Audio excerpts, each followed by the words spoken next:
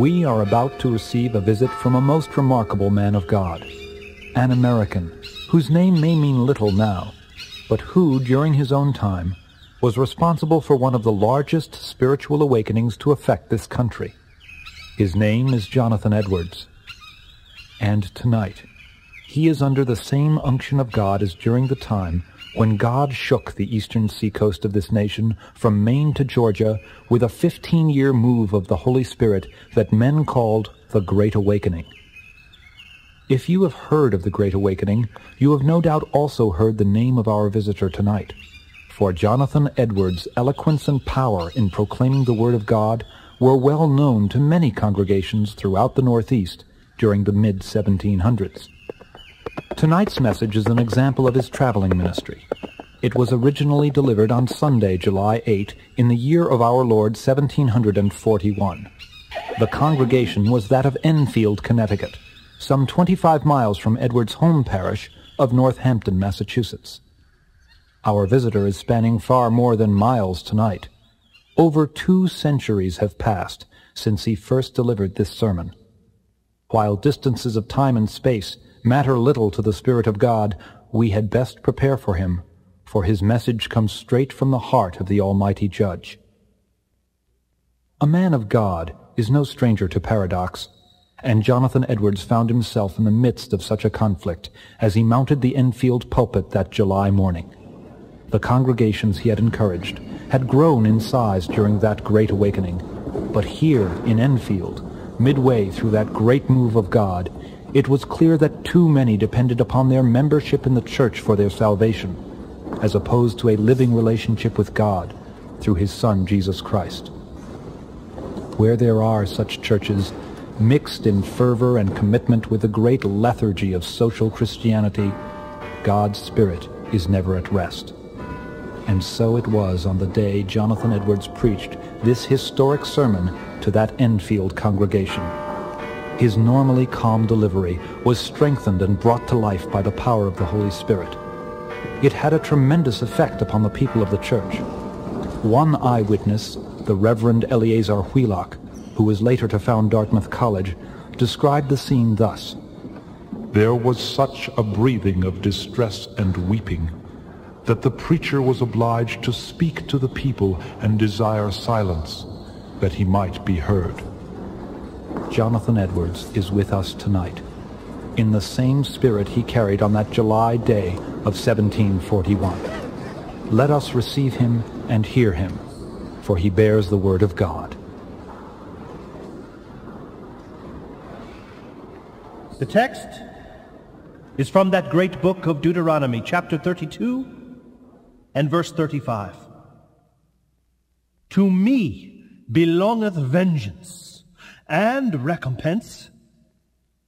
Their foot shall slide in due time, for the day of their calamity is at hand, and the things that shall come upon them make haste.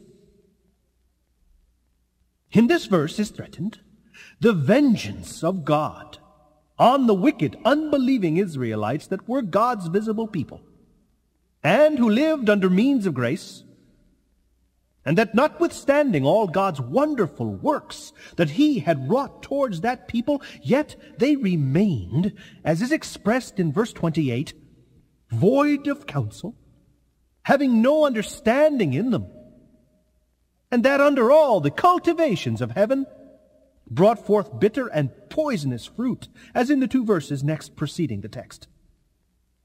The expression that I have chosen for my text their foot shall slide in due time, seems to imply the following things relating to the punishment and destruction that these wicked Israelites were exposed to.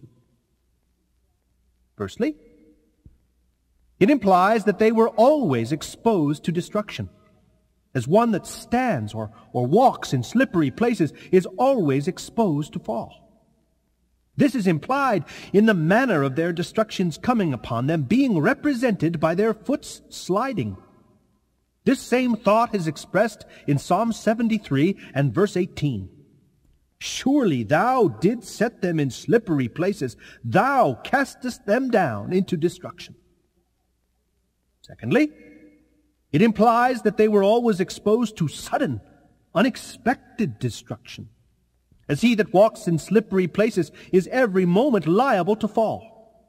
He can't foresee one moment whether he shall stand or fall the next, and when he does fall, he falls at once without warning.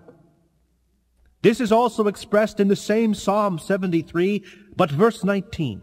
Surely thou didst set them in slippery places. Thou castest them down into destruction. How are they brought into desolation? As in a moment. Another thing that is implied is that they are liable to fall by themselves, without being thrown down by the hand of another, as he that stands or walks on slippery ground needs nothing but his own weight to throw him down. And it also implies that the reason why they are not fallen already, and don't fall now, is only that God's appointed time is not come. For it is said that when that due time or appointed time comes, their foot shall slide. Then they shall be left to fall as they are inclined by their own weight. God won't hold them up in these slippery places any longer, but will let them go. And then at that very instant they shall fall into destruction as he that stands in such slippery declining ground on the edge of a pit that he can't stand alone. And when he is let go, he immediately falls and is lost. The observation from the words that I would now insist upon is this. There is nothing that keeps wicked men at any one moment out of hell but the mere pleasure of God. By the mere pleasure of God, I mean His sovereign pleasure, His arbitrary will, restrained by no obligation, hindered by no manner of difficulty, any more than if nothing else but God's mere will had, in the least degree or in any respect whatsoever, any hand in the preservation of wicked men one moment. The truth of this observation may appear by the following considerations. First, consider that there is no want or lack of power in God to cast wicked men into hell at any moment. Men's hands can't be strong when God rises up. The strongest have no power to resist him, nor can any deliver out of his hands. He is not only able to cast wicked men into hell, but he can most easily do it. Sometimes an earthly prince meets with a great deal of difficulty to subdue a rebel that has found means to fortify himself and has made himself strong by the numbers of his followers. But it is not so with God. There is no fortress that is any defense from the power of God. Though hand join in hand, and vast multitudes of God's enemies combine and associate themselves, they are easily broken in pieces. They are as great heaps of light chaff before the whirlwind, or large quantities of dry stubble before devouring flames we find it easy to tread on and crush a worm that we see crawling on the earth. So 'tis easy for us to cut or singe a slender thread that any thing hangs by. Thus easy is it for God when he pleases to cast his enemies down to hell. What are we, that we should think to stand before him at whose rebuke the earth trembles and before whom the rocks are thrown down? Consider, secondly, that they deserve to be cast into hell, so that divine justice never stands in the way. It makes no objection against God's using his power at any moment to destroy them.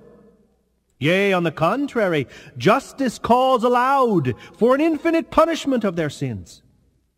Divine justice says of the tree that brings forth such grapes of Sodom, Cut it down. Why cumbereth it the ground? Luke chapter 13, verse 7.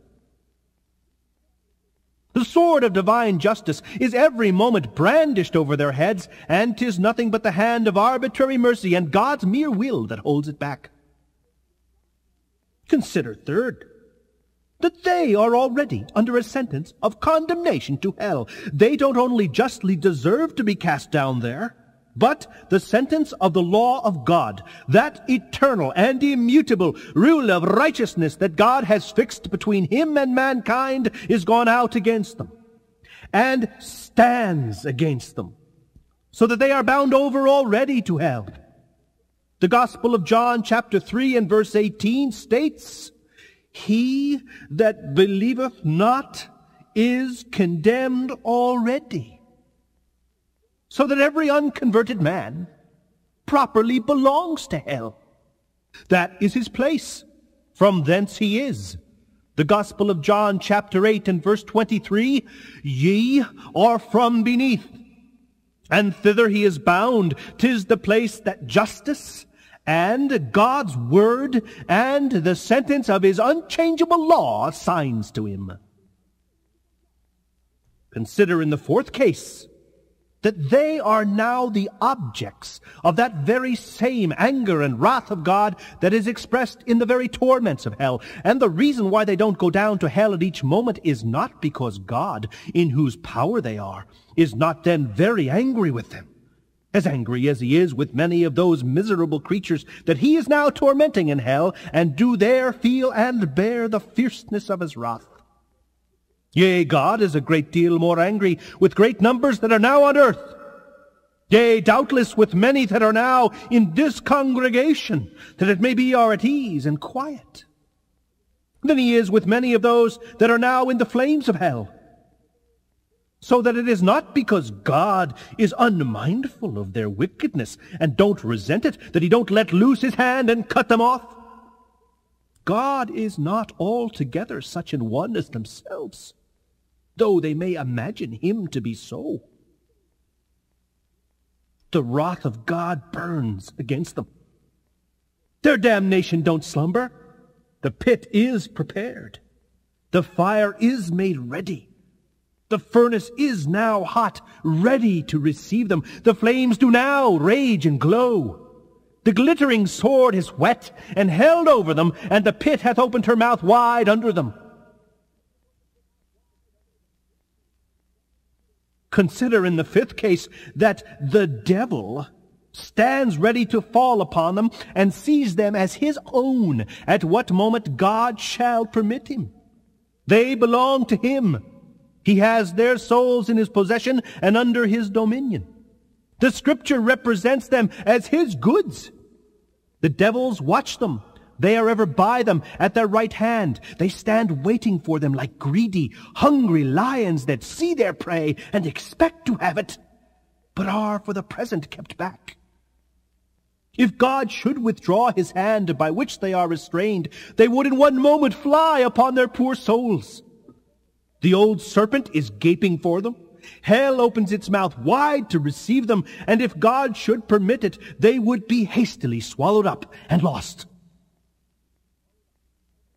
Consider in the sixth case that there are in the souls of wicked men those hellish principles reigning that would presently kindle and flame out into hell fire if it were not for God's restraints. There is laid in the very nature of carnal men a foundation for the torments of hell. There are those corrupt principles in reigning power in them and in full possession of them that are seeds of hell fire. These principles are active and powerful and exceeding violent in their nature. And if it were not for the restraining hand of God upon them, they would soon break out. They would flame out after the same manner as the same corruptions, as the same enmity does in the hearts of, of damned souls, and would beget the same torments in them as they do in them. The souls of the wicked are in scripture compared to the troubled sea. Isaiah chapter 57 verse 20. For the present, God restrains their wickedness by his mighty power, as he does the raging waves of the troubled sea, saying, Hitherto shalt thou come, and no further. But if God should withdraw that restraining power, it would soon carry all afore it. Sin is the ruin and misery of the soul. It is destructive in its nature, and if God should leave it without restraint, there would need nothing else to make the soul perfectly miserable. The corruption of the heart of man is a thing which is immoderate and boundless in its fury. And while wicked men live here, it is like fire pent up by God's restraints. When as if it were let loose, it would set on fire the course of nature. And as the heart is now a sink of sin, so if sin was not restrained, it would immediately turn the soul into a fiery oven or a furnace of fire and brimstone. And consider in the seventh case that it is no security to wicked men for one moment, but that there are no visible means of death at hand. Tis no security to a natural man that he is now in good health, that he don't see which way he should now immediately go out of the world by any accident and that there is no visible danger in any respect in his circumstances? The manifold and continual experience of the world in all ages shows that this is no evidence that a man is not on the very brink of eternity and that the next step he takes won't be into another world. The unseen, unthought of ways and means of persons going suddenly out of the world are innumerable and inconceivable. Unconverted men walk over the pit of hell on a rotten covering. And there are innumerable places in this covering so weak that they won't bear their weight. And these places are not seen. The arrows of death fly unseen at noonday. The sharpest sight can't discern them. God has so many different, unsearchable ways of taking wicked men out of the world and sending them to hell that there is nothing to make it appear that God had need to be at the expense of a miracle or go out of the ordinary course of his providence to destroy any wicked man at any moment. All the means that there are of sinners going out of the world are so in God's hands and are so universally, absolutely subject to his power and determination that it don't depend at all less on the mere will of God whether sinners shall at any one moment go to hell than if ways and means were never made use of or at all concerned in the case. And consider in the eighth case that all natural men's prudence and care to preserve their own lives, or the care of others to preserve them, don't secure them a moment. To this divine providence and universal experience does also bear testimony. There is this clear evidence that men's own wisdom is no security to them from death. That if it were otherwise, we should see some difference between the wise and politic men of the world and others with regard to the liableness to early and unexpected death. But how is it in fact? Ecclesiastes chapter 2 verse 16. How dies the wise man? The same as the fool. In the ninth case, consider that all wicked men's pains and contrivance they use to escape hell, while they continue to reject the Lord Jesus Christ and so remain wicked men, don't secure them from hell one moment. Almost every natural man that hears of hell flatters himself that he shall escape it. He depends upon himself for his own security. He flatters himself in what he has done or in what he is now doing, or in what he intends to do. Everyone lays out matters in his own mind how he shall avoid damnation, and flatters himself that he contrives well for himself, and that his schemes won't fail. They hear indeed that there are but few saved, and that the bigger part of men that have died heretofore are gone to hell, but each one imagines that he lays out matters better for his own escape than others have done. He don't intend to come to that place of torment. He says within himself that he intends to take care that shall be effectual, and to order matters so for himself as not to fail. But the foolish children of men do miserably delude themselves in their own schemes. And in their confidence, in their own strength and wisdom, they trust to nothing but a shadow. The bigger part of those that heretofore have lived under the same means of grace and are now dead are undoubtedly gone to hell. And it was not because they were not as wise as those that are now alive. It was not because they did not lay out matters as well for themselves to secure their own escape. If it were so, that we could come to speak with them, and could inquire of them, one by one, whether they expected, when alive, and when they used to hear about hell, ever to be the subjects of that misery, we doubtless should hear one and another reply, No! I never intended to come here. I had laid out matters otherwise in my mind. I thought I should contrive well for myself. I thought my scheme good. I intended to take effectual care, but it came upon me unexpected.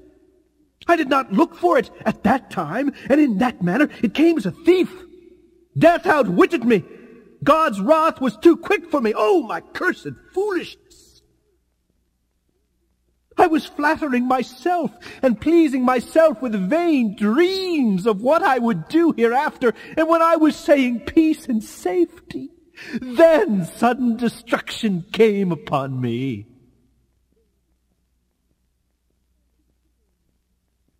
And consider in the tenth case that God has laid himself under no obligation by any promise to keep any natural man out of hell one moment.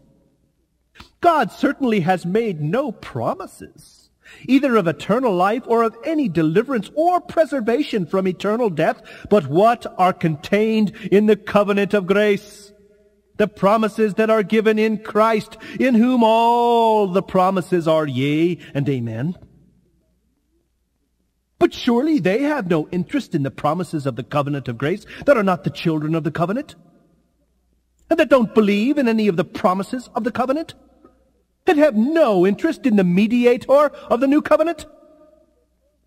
So that whatever some have imagined and pretended about some promises made to natural man's earnest seeking and knocking, it is plain and manifest that whatever pains a natural man takes in religion, whatever prayers he makes, till he believes in Christ, God is under no manner of obligation to keep him a moment from eternal destruction. So that thus it is, that natural men are held in the hand of God over the pit of hell. They have deserved the fiery pit and are already sentenced to it, and God is dreadfully provoked. His anger is as great towards them as to those that are actually suffering the executions of the fierceness of his wrath in hell, and they have done nothing in the least to appease or abate that anger. Neither is God in the least bound by any promise to hold them up one moment.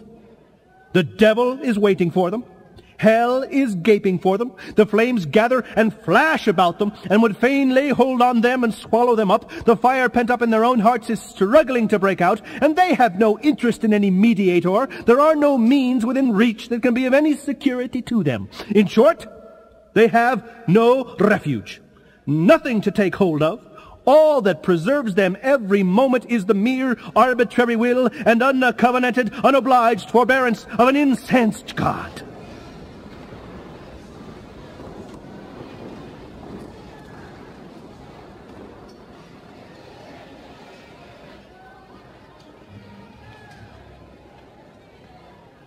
The use of this awful subject may be of awakening unconverted persons in this congregation.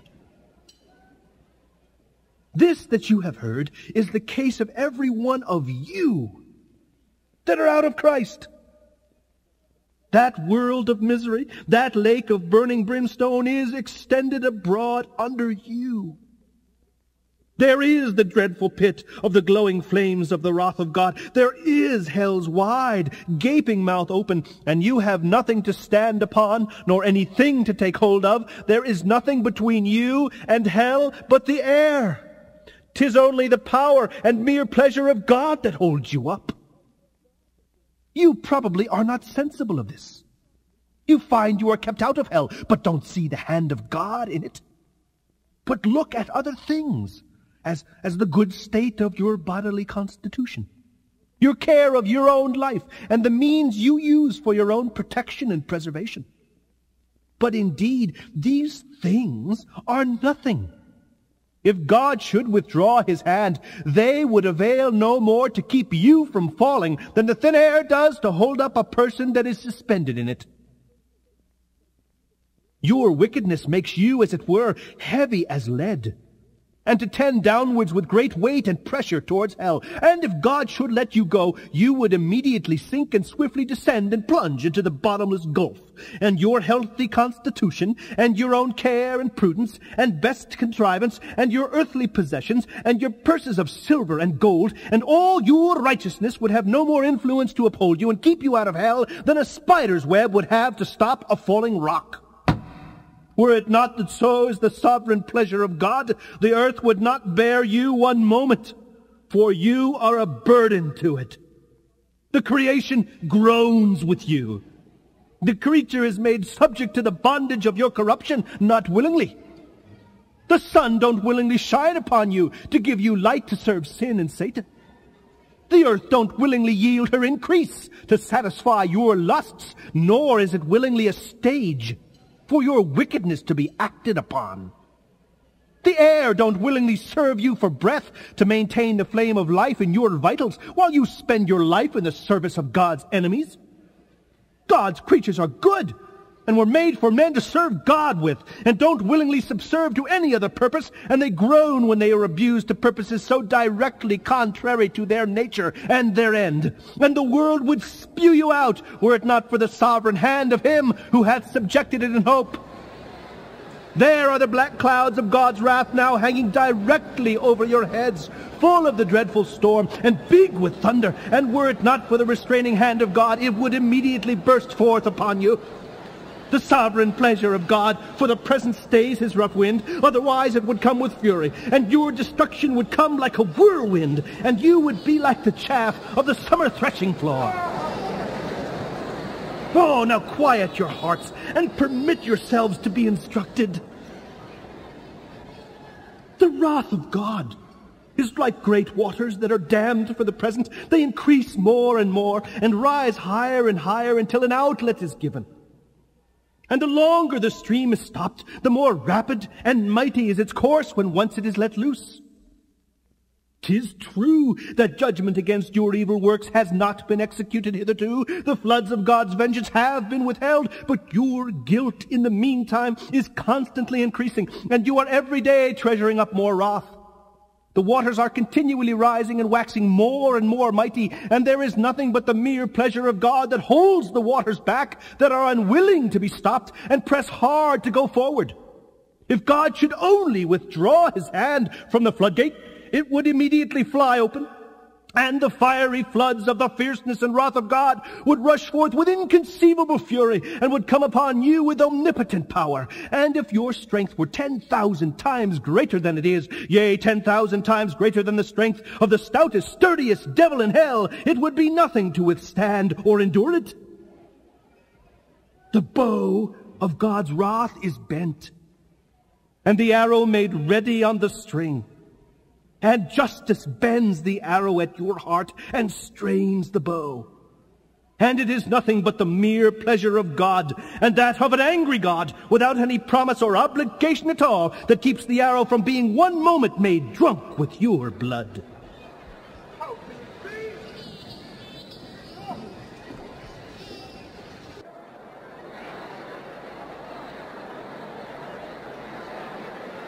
Thus, are all you that never passed under a great change of heart by the mighty power of the Spirit of God upon your souls.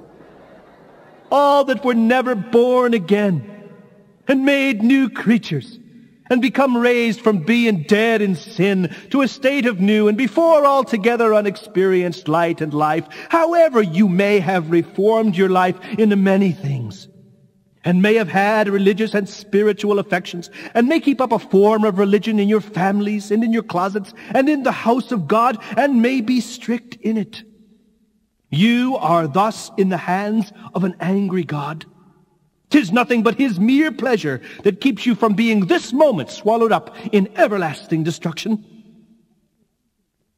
However unconvinced you may now be of the truth of what you hear, by and by you will be fully convinced of it. Those that are gone from being in the like circumstances with you see that it was so with them. For destruction came suddenly upon most of them when they expected nothing of it, and while they were saying peace and safety. Now they see that those things that they depended on for peace and safety were nothing but thin air and empty shadows. The God that holds you over the pit of hell, much as one holds a spider, or some loathsome insect over the fire abhors your sins and is dreadfully provoked.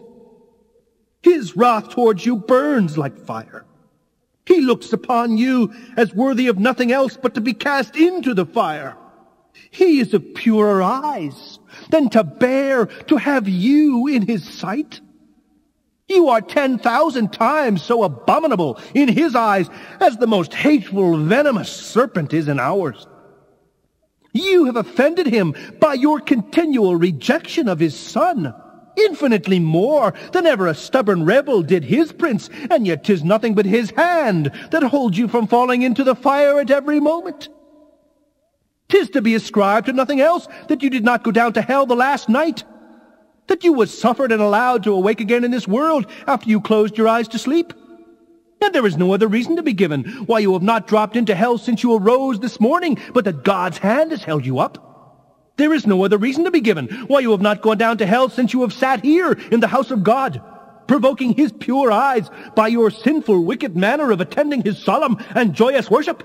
Yea, there is nothing else that is to be given as a reason why you don't this very moment drop down into hell. Oh, sinner, consider the fearful danger you are in. 'Tis a great furnace of wrath, a wide and bottomless pit, full of the fire of wrath that you are held over in the hand of that God, whose wrath is provoked and incensed as much against you as against many of the damned in hell. You hang by a slender thread, with the flames of divine wrath flashing about it, and ready every moment to singe it and burn it asunder, and you have no interest in any mediator, and nothing to lay hold of to save yourself. Nothing to keep off the flames of wrath, nothing of your own, nothing that you ever have done, nothing that you ever can do to induce God to spare you one moment. And consider here more particularly, for a few moments longer, several things concerning that wrath that you are in danger of. Consider it. Whose wrath it is it is the wrath of the infinite God. If it were only the wrath of man, though it were of the most potent prince, it would be comparatively little to be regarded. The wrath of kings is very much dreaded, especially of absolute monarchs that have the possessions and lives of their subjects wholly in their power, to be disposed of at their mere will. Proverbs chapter 20 verse 2, the fear of a king is as the roaring of a lion. Whosoever provoketh him to anger sins against his own soul. The subject that very much enrages an arbitrary prince is liable to suffer the most extreme torments that human art can invent or human power can inflict. But the greatest earthly potentates, in their greatest majesty and strength, and when clothed in their greatest terrors, are but feeble, despicable worms of the dust in comparison of the great and almighty creator and king of heaven and earth. It is but little that they can do when most enraged and when they have exerted the utmost of their fury. All the kings of the earth before God are as grasshoppers. They are nothing and less than nothing. Both their love and their hatred in comparison to God's is to be despised. The wrath of the great King of Kings is as much more terrible than theirs as his majesty is greater. As Christ Jesus has said, And I say unto you, my friends, be not afraid of them that killed the body, and after that have no more that they can do. But I will forewarn you whom ye shall fear. Fear him, which after he hath killed, hath power to cast into hell. Yea, I say unto you, fear him. Consider, tis the fierceness of his wrath that you are exposed to. We often read of the fury of God, as in Isaiah chapter 59 and verse 18. According to their deeds, accordingly he will repay fury to his adversaries. So also in Isaiah chapter 66 and verse 15. For behold, the Lord will come with fire and with chariots like a whirlwind to render his anger with fury and his rebukes with flames of fire. And so in many other places. So we read of God's fierceness. In Revelation chapter 19 and verse 15, there we read of the winepress of the fierceness and wrath of Almighty God. The words are exceeding terrible. If it had only been said the wrath of God, the words would have implied that which is infinitely dreadful. But 'tis not only said so, but the fierceness and wrath of God, the fury of God, the fierceness of Jehovah. Oh, how dreadful must that be! Who can utter or conceive what such expressions carry in them. But it is not only said so, but the fierceness and wrath of Almighty God, as though there would be a very great manifestation of his almighty power in what the fierceness of his wrath should inflict, as though omnipotence should be, as it were, enraged and exerted, as men are wont to exert their strength in the fierceness of their wrath. Oh, then what will be the consequence? What will become of the poor worms that shall suffer it? Whose hands can be strong? Whose heart endure? To what a dreadful, inexpressible, inconceivable depth of misery must the poor creature be sunk who shall be the subject of this? Consider this, you that are here present, that yet remain in an unregenerate or backslidden state. Consider it. That God will execute the fierceness of his anger implies that he will inflict wrath without any pity. When God beholds the ineffable extremity of your case, and sees your torment to be so vastly disproportioned to your strength, and sees how your poor soul is crushed and sinks down, as it were, into an infinite gloom, he will have no compassion upon you. He will not forbear the executions of his wrath, or in the least lighten his hand. There shall be no moderation or mercy, nor will God then at all stay his rough wind. He will have no regard to your welfare, nor be at all careful lest you should suffer too much, in any other sense that only you shall not suffer beyond what strict justice requires. Nothing shall be withheld, because it's so hard for you to bear.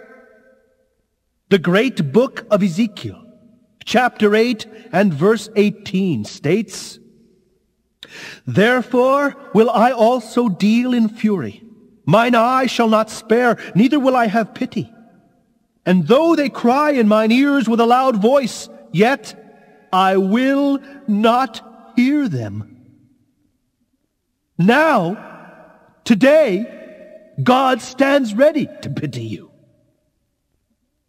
Now, today, God stands ready to pity you. This is a day of mercy. You may cry now with some encouragement of obtaining mercy.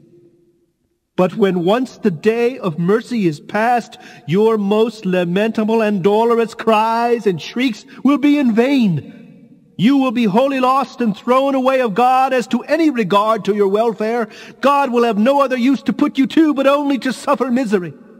You shall be continued in being to no other end, for you will be a vessel for wrath, fitted to destruction, and there will be no other use of this vessel but only to be filled full of wrath. God will be so far from pitying you when you cry to him that 'tis said he will only laugh and mock. Proverbs chapter 1 verses 25 and 26. How awful are those words of Isaiah 63 in verse 3, which are the words of the great God.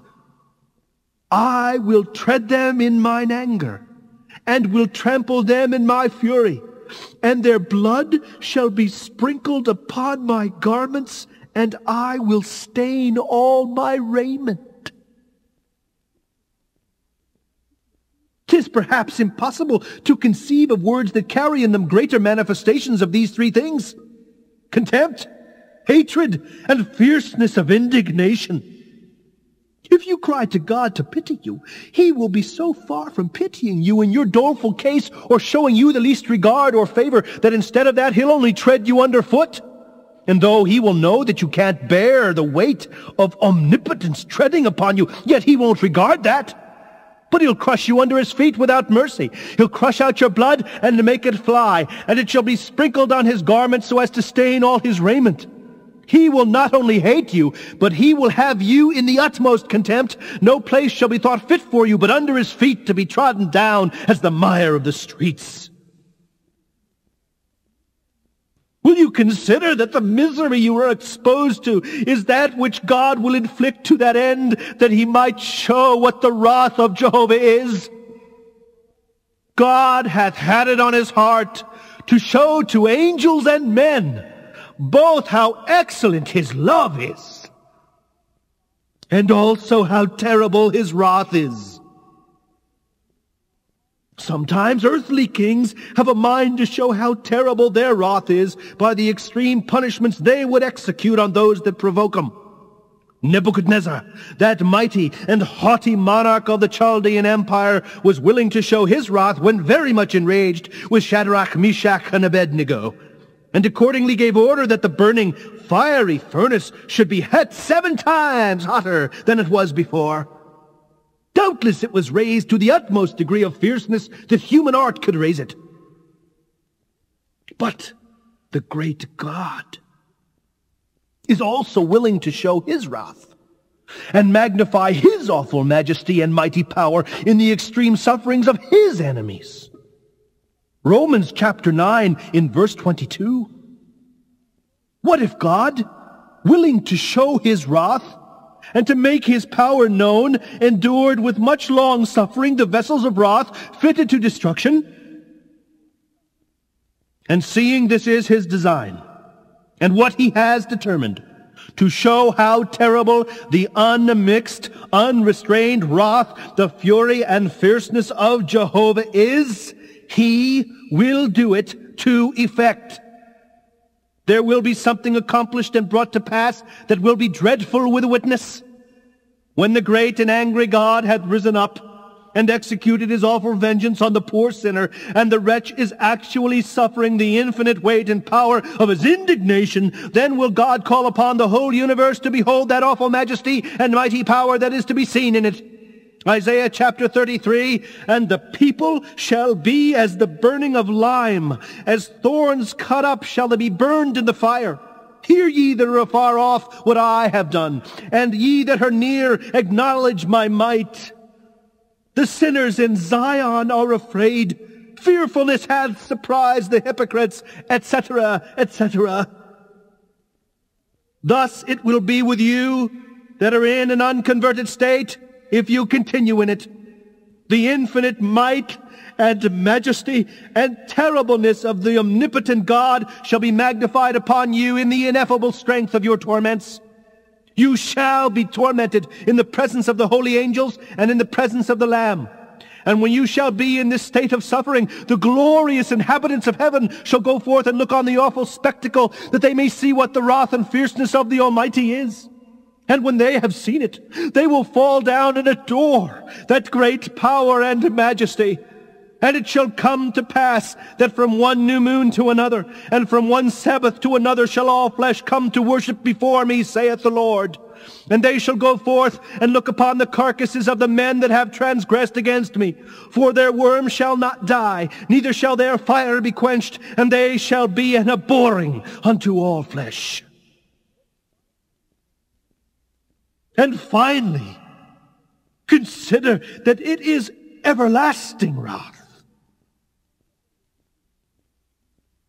It would be dreadful to suffer this fierceness and wrath of Almighty God one moment, but you must suffer it to all eternity. And there will be no end to this exquisite, horrible misery. When you look forward, you shall see a long forever, a boundless duration before you, which will swallow up your thoughts and amaze your soul. And you will absolutely despair of ever having any deliverance, any end, any mitigation, any rest at all. You will know certainly that you must wear out long ages, millions and millions of ages, in wrestling and conflicting with this almighty merciless vengeance. And then, when you have so done, when so many ages have actually been spent by you in this manner, then you will know that all is but a point to what yet remains so that your punishment will indeed be infinite. Oh, who can express what the state of a soul in such circumstances is? All that we can possibly say about it gives but a very feeble, uh, faint representation of it.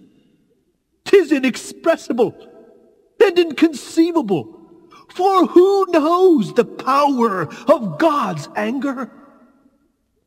How dreadful is the state of those that are daily and hourly in danger of this great wrath and infinite misery. But this is the dismal case of every soul in this congregation that has not been born again. However moral and strict, sober and religious they may otherwise be. Oh, that you would consider it, whether you be young or old. There is reason to think that there are many in this congregation now hearing this discourse that will actually be the subjects of this very misery to all eternity. We know not who they are, or in what seats they sit, or what thoughts they now have. It may be that they are now at ease, and hear all these things without much disturbance and are now flattering themselves that they are not the persons, promising themselves that they shall escape. If we knew that there was one person, and but one, in the whole congregation that was to be the subject of this misery, what an awful thing would it be to think of? If we knew who it was, what an awful sight would it be to see such a person? How might all the rest of the congregation lift up a lamentable and bitter cry over him? But alas, instead of one, how many is it likely will remember this discourse in hell? And it would be a wonder if some that are now present should not be in hell in a very short time before this year is out. And it would be no wonder if some person that now sits here in some seat of this meeting house in health and, and quiet and secure should be there before tomorrow morning.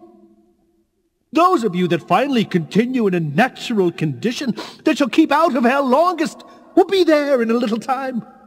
Your damnation don't slumber. It will come swiftly and in all probability very suddenly upon many of you. You have reason to wonder that you are not already in hell. Tis doubtless the case of some that heretofore you have seen and known that never deserved hell more than you, and that heretofore appeared as likely to have been now alive as you. Their case is past all hope. They are crying in extreme misery and perfect despair. But here you are in the land of the living and in the house of God and have an opportunity to obtain salvation. What would not those poor, damned, helpless, hopeless souls give for one day's such opportunity as you now enjoy? And now you have an extraordinary opportunity. A day wherein Christ Jesus has flung the door of mercy wide open and stands in the doorway calling and crying with a loud voice to poor sinners. A day wherein many are flocking to him and pressing into the kingdom of God. Many are daily coming from the east, west, north, and south. Many that were very lately in the same miserable condition that you are in, are in now a happy state, with their hearts filled with love to him that has loved them and has washed them from their sins in his own blood, and are rejoicing in hope of the glory of God. How awful is it to be left behind in such a day? To see so many others feasting while you are pining and perishing. To see so many rejoicing and singing for joy of heart while you have cause to mourn for sorrow of heart and howl for vexation of spirit. How can you rest one moment in such a condition? Are not your souls as precious as the souls of the people at Suffield? Where they are flocking from day to day to Christ?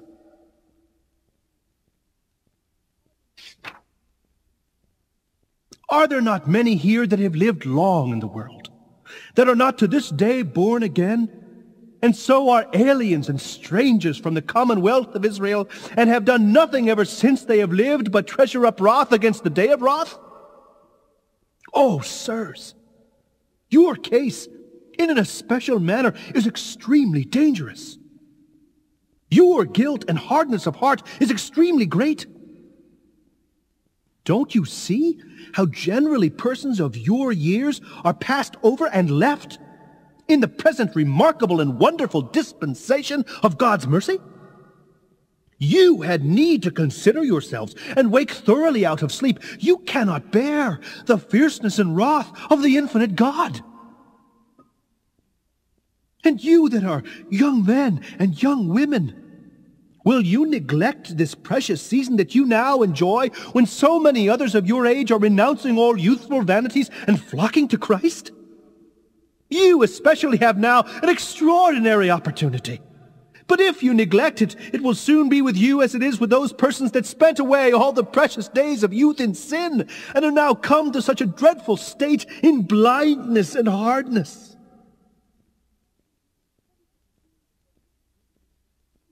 And if there be any children beyond the age of innocence that are unconverted, don't you know that you are going down to hell to bear that dreadful wrath of that God that is now angry with you every day and every night? Will you be content to be the children of the devil? When so many other children in the land are converted and are become the holy and happy children of the King of Kings?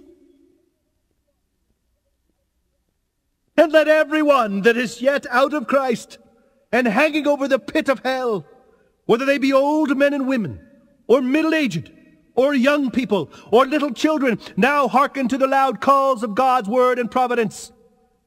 This acceptable year of the Lord, that is a day of such great favor to some, will doubtless be a day of as remarkable vengeance to others. Men's hearts harden, and their guilt increases apace at such a day as this, if they neglect their souls. And never was there so great danger of such persons being given up to hardness of heart and blindness of mind. God seems now to be hastily gathering in his elect in all parts of the land, and probably the bigger part of adult persons that ever shall be saved will be brought in now in a little time, and that it will be as it was on that great outpouring of the Spirit upon the Jews in the apostles' days. The election will obtain, and the rest will be blinded. If this should be the case with you, you will eternally curse this day and will curse the day that ever you was born to see such a season of the pouring out of God's Spirit, and will wish that you had died and gone to hell before you had seen it. Now undoubtedly it is as it was in the days of John the Baptist. The axe is in an extraordinary manner laid at the root of the trees, that every tree that brings not forth good fruit may be hewn down and cast into the fire. Therefore, let every one that is out of Christ now awake and fly from the wrath to come. The wrath of Almighty God is now undoubtedly hanging over a great part of this congregation. No! Let everyone fly out of Sodom. Haste! and escape for your lives. Look not behind you. Escape to the mountain, lest you be consumed.